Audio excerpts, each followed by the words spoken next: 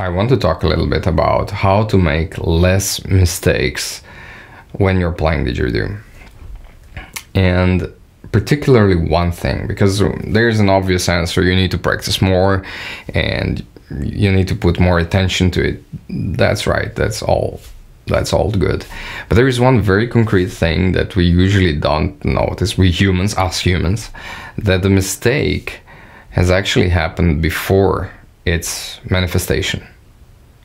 If you understand what I mean. But let me give you an example if you don't. You come on a stage and you play the drone and you just miss it. And you can feel, oh, I missed at that point, I missed the drone.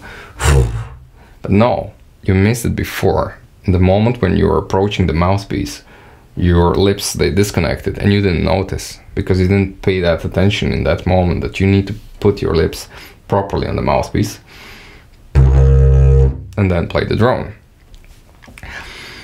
Or you play air code and it doesn't resonate.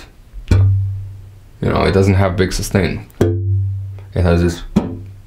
And you can feel, oh, I made a mistake with the, the separation or something because this is this is the moment where you actually heard it.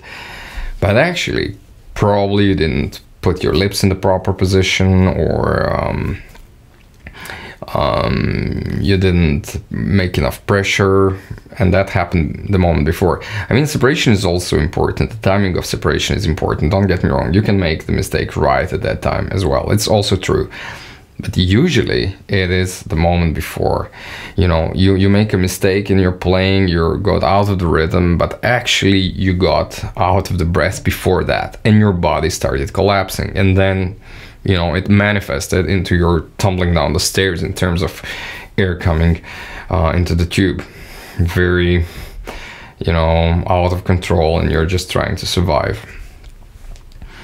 So I recommend if you notice your pattern of mistaking, that you don't mistake it, that it happened at that moment, but give it uh, um, a possibility, open this question, if it could have happened a moment before it manifested. And see how you felt at that moment, see um, on what was going on in the body and um, see if you can find actually a pattern of making you make mistakes okay? And that is a very powerful knowledge because this is this autocorrect this really that really works. Um, sometimes it's really the biggest failure in the universe. But this autocorrect when you can notice what's going on in your body the self-observation is one of the key elements of learning. And um, Sure, you can have teachers to help you learn something, but ultimately the learning has to come in you. I can't really teach you something. You know, nobody can.